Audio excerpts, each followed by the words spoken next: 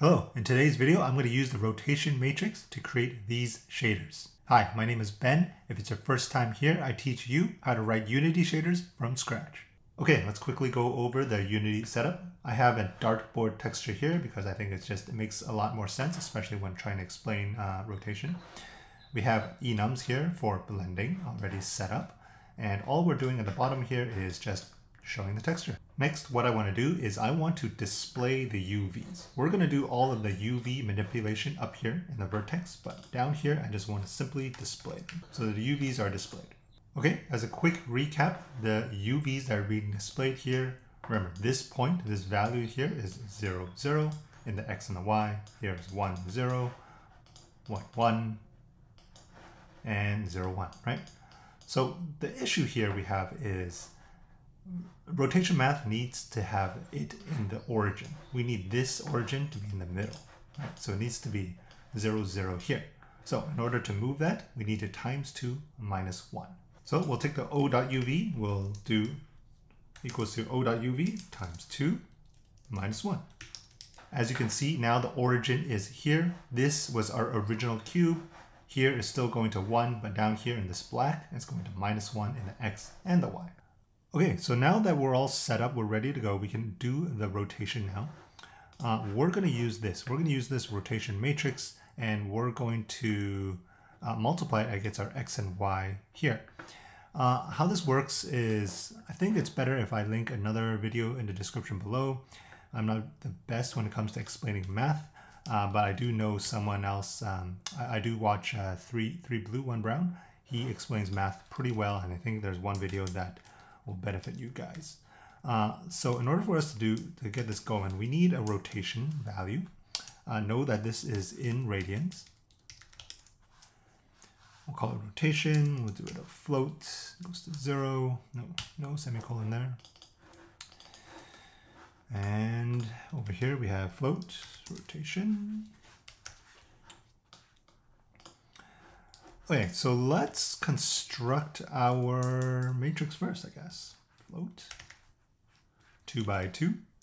Let's call it mat is equal to float, two by two. And we don't have to do it this way, but I think it helps um, visually what a matrix looks like, zero. This is the identity matrix.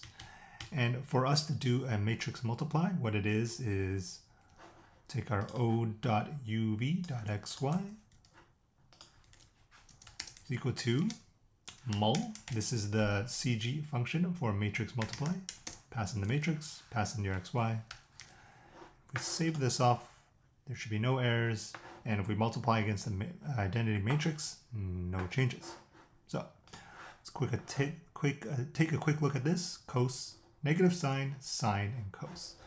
So let's uh, let's start that off. We'll do um, float c is equal to cos rotation. Let's get some spacing in here and float s is equal to sine rotation.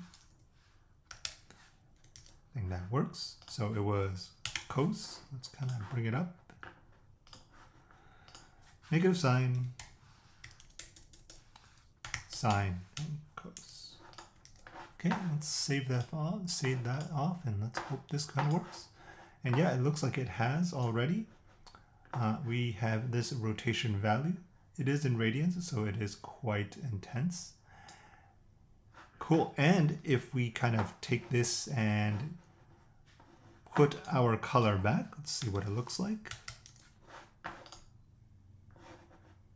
Ah, yes, of course we uh, did times 2 minus 1. Uh, so we offsetted it. We need to offset it back uh, after we do our matrix multiply.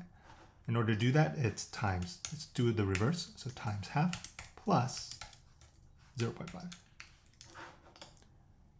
Great, and that should put us back in the center where we can now rotate. Okay, so if you're noticing this issue where you see these, uh, this this UV just kind of stretching out like this. Uh, the issue of this is because this texture has um, color right at the very edge. And a quick fix to do this, to fix this, is to make sure there's a pixel thin a space of emptiness surrounding your image. So I'm going to go into Photoshop and fix that right up. You can also add time.y if you wanted to say animate this, right? And you can, of course, you can reverse it. So why would you ever want to do this in the shader? I mean, you can always do a game object and just kind of rotate it based on update. Um, but one of the benefits of doing in the shader is we have this TRANSFORM_TEX. Notice we left this here and we did all of our rotational math after. And the reason why we would do that is so that we can take advantage of the TRANSFORM_TEX and do maybe, you know, I only want to see half the circle. So say half the circle, right? And then you can now create an effect where it's just this half. Uh, you can even do quarter. You can, and, and this would probably look really good as part of a UI, right? And you can even put it in say different corners by offsetting it, right? So this is just kind of some of the benefits you have along with this that once this is set up correctly, you can offset it to whichever part of the circle that you want to create your effect. And also because this is part of the shader as well, you can also have multiple textures. Like um, I'm going to burn through this real quick.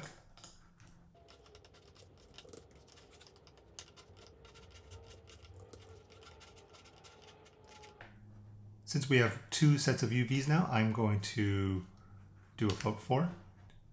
I think this is a good time to introduce functions. Let's go ahead and do that. It's going to be, it's not as hard as you think. It's just float 2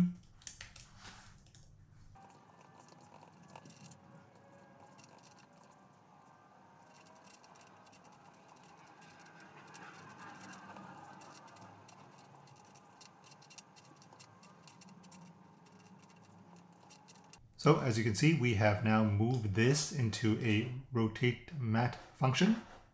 All we're going to do is pass in this UV and it returns a new UV uh, like so. So now we can actually just duplicate this if we want to do it in the ZW.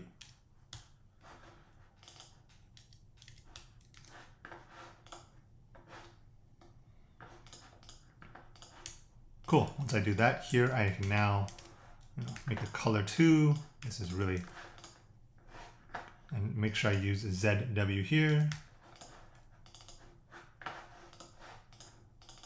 And let's just say my return, I'm going to get rid of that, is I'm going to return half of color 1 and half of color 2. So let's just say times 0.5 plus color 2 times 0.5. It's white because my second texture is white, but yes, we can add Right, there seems to be a bug, I think. Yes, the v dot uh, uv dot zw, it doesn't exist. It's supposed to be xy. All right, so now we have two different types of rotation. Now we can manipulate our rotation based on perhaps time. Let's just do something like that. Uh, let's do float time, t, and we'll replace time.y with t. Here, what we're going to pass in is underscore time.y. And in the other one, we can wrote, uh, pass in a negative version.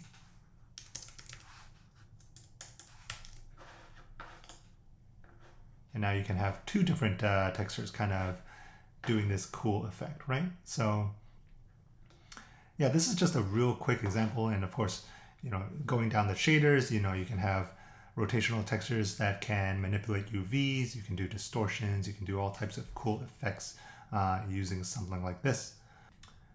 Okay, so one thing I noticed uh, was that the TRANSFORM_TEX no longer works uh, because I don't think it needs to be in here or it cannot be in here. So let's move it out. We need to do the TRANSFORM_TEX before we pass it into the rotation. So going to use v.xy and the rotation should be using the O version because the one we just uh, we just manipulated. So let's manipulate this now. Yeah, okay, good. It's still it's it's back. So yeah, if you guys like what you see, um, you know, please comment below and give me some ideas, some feedback. I'm always open to learning uh, new different types of shaders. And if you guys want uh, something more specific, you know, please let me know. Uh, that being said, please like, subscribe, and I'll see you guys next time. Bye now.